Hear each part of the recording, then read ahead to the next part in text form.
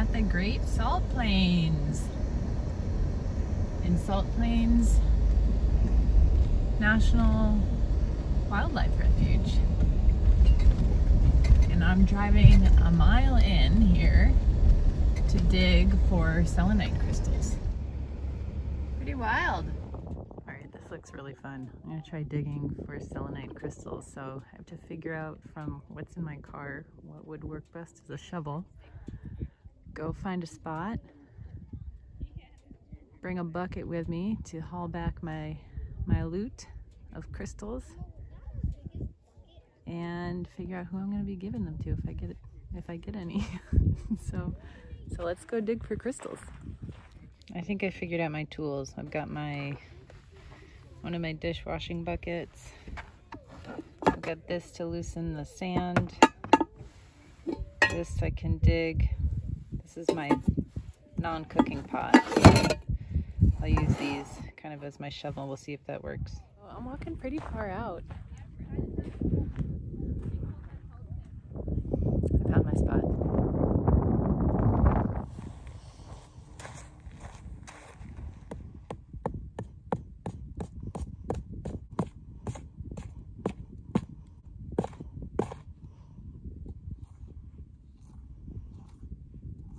Oh my goodness.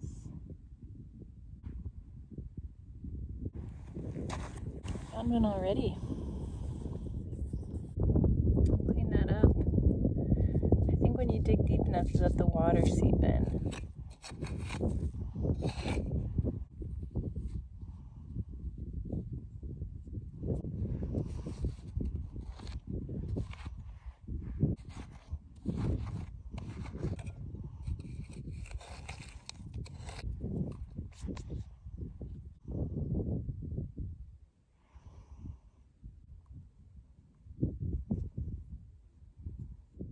I've got my work cut out for me. This is not a very big hole, so I'm gonna have to make some quicker work of this.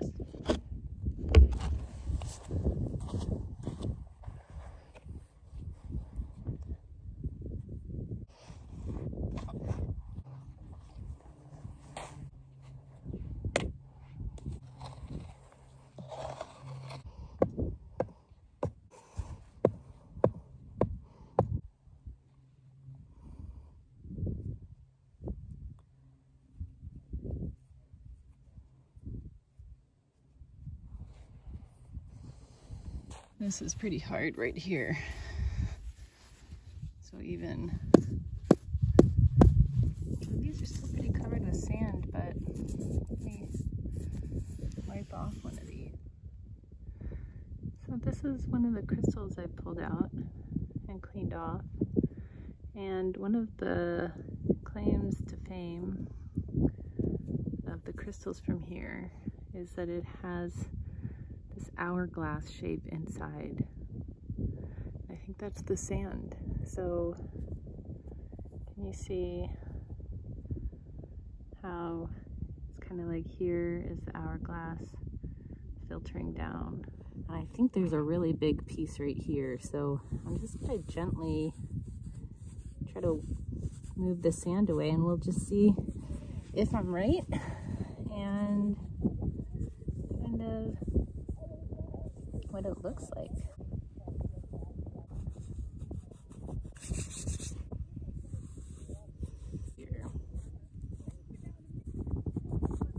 A little, I may have just cracked it actually.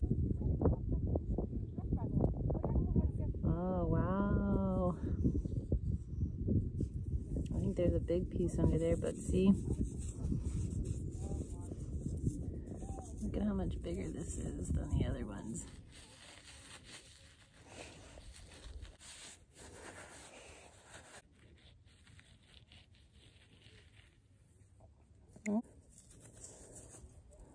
Back at the car.